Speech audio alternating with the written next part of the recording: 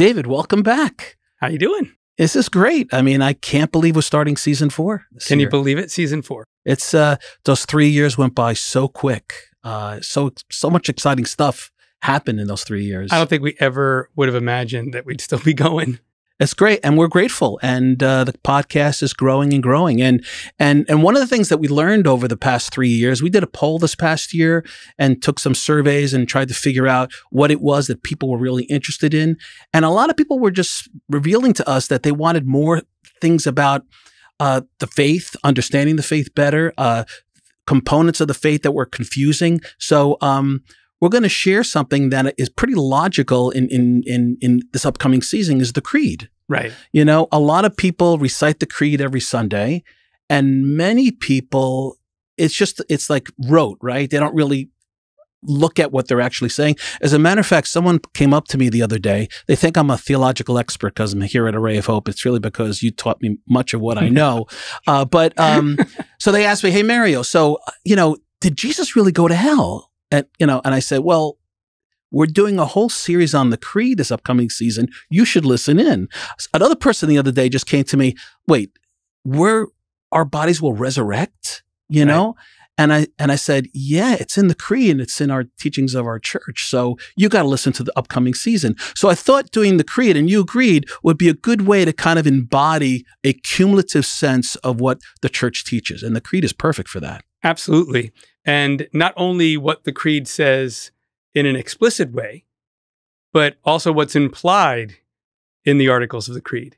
So, what we'll find is that the creed covers more than what it seems to only say on the surface. Mm-hmm. And that's important too, because many people could try to reduce the faith, or at least the main elements of the faith, to only the articles in the creed when those articles imply other teachings that also must be held. So we'll get into all. We're going to get all that. And I think we're going to include some of those things in the show notes uh, regarding what the doctors of the church say, the fathers of the church say. So, and also the popes and the various catechisms. So uh, any things that come up that are really things that we want to hold on to will be in the show notes. Great. So this is awesome. Um, so Dave, how did the creed first start? And, and what is a creed, by the way? So the word creed comes from the Latin credo, which means I believe. So, in the most simplistic way, I guess you could say a creed is a list of beliefs or a way in which we affirm what we believe. I'll push back against that. I'll also want to develop the idea of what we mean by I believe, because it's not necessarily I believe as one belief among many possible beliefs. So that's first.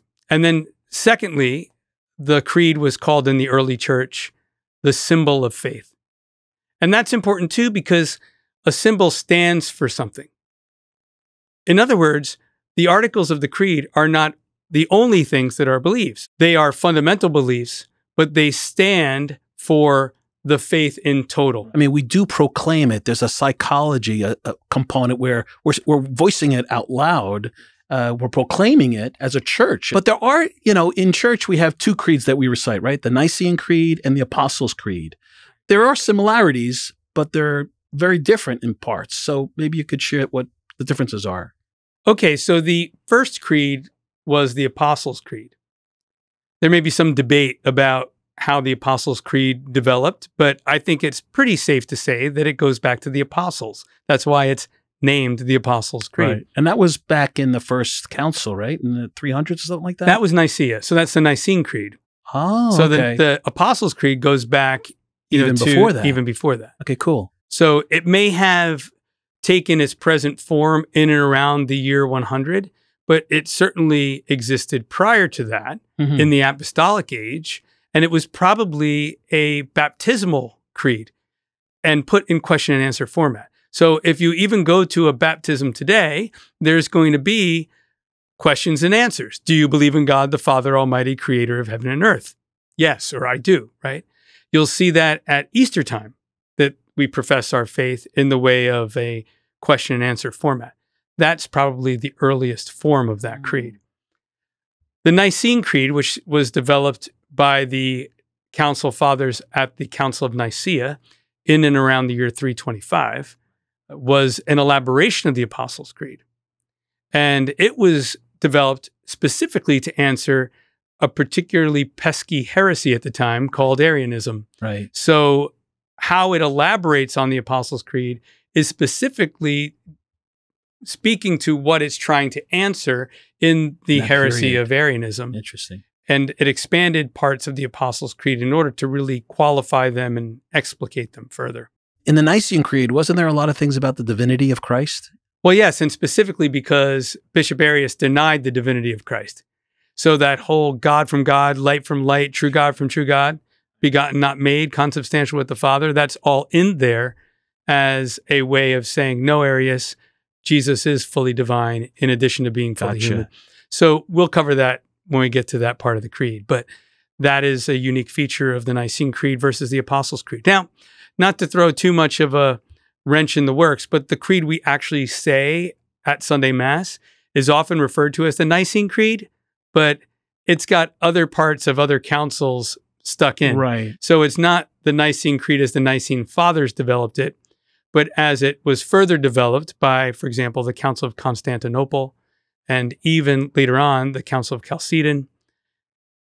So yeah. Hey, you know, this comes to mind. Why is it, who determines what creed we actually say?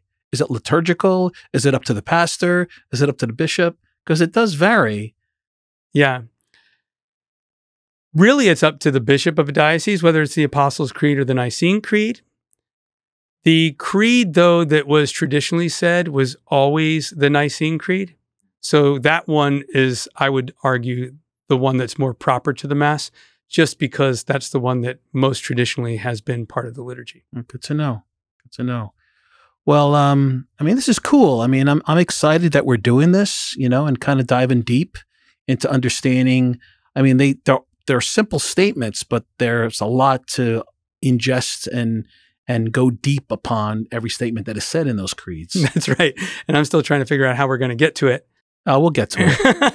We're going to cut you short. Yeah, that's gonna cut you short in the edit. right. Is that a short joke? Stop that. So I'm really excited that we're going to be putting this in the overall schedule of the Reason for Hope podcast. It's really good. It's very informative. Everybody just stand by. We got a lot of great stuff coming your way.